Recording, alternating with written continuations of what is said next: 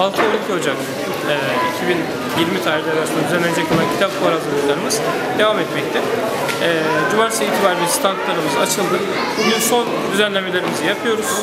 Yarın e, pazartesi günü itibariyle saat 10'da açılışımızı gerçekleştireceğiz.